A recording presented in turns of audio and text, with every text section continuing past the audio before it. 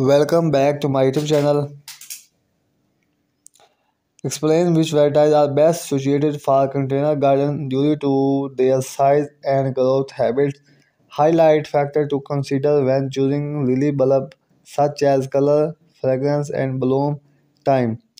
Talk about the importance of selecting appropriate pots with good range.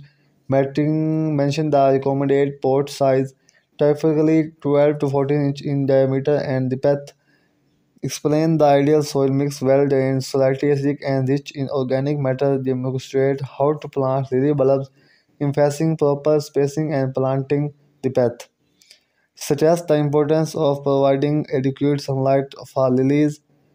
Discuss how to choose the right location considering factors like wind protection and avoiding extreme heat. Explain the watering need of lilies consistently moist soil but not waterlogged. Demonstrate the fingers test to check soil moisture before fertilizing. Discuss the importance of mulching to retain moisture and regulate soil temperature. Outline the fertilization schedule, applying a balanced slow release fertilizer during the plant and another dose as the plant growth.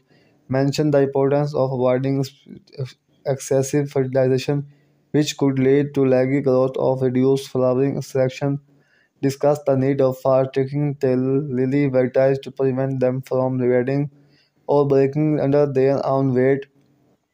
Show how to insert takes near the bulb and secure the stem using soft ties.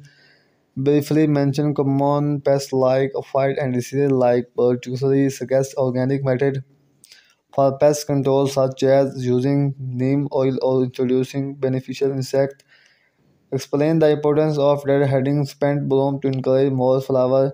Demonstrate how to prune faded flower and yellow leaves to promote a tidy appearance. Talk about what to do after the blooming season end. Provide guidance on how to overwater winter lily in colder climate, including mulching and moving pots to protect area. Summarize the key point covered in the video encourage viewers to ask questions, share their experience, and subscribe for more gardening tips. And with a cheer farewell and a reminder to give the video a thumb up if they found it helpful. Display your social media link, website, or other relevant information. Thank you viewers for watching and invite them to explore their other video on your channel. YouTube, thank you for watching this video. Subscribe to my youtube channel and like this video and share the channel. Thank you for watching this video. Happy gardening. Bye bye take care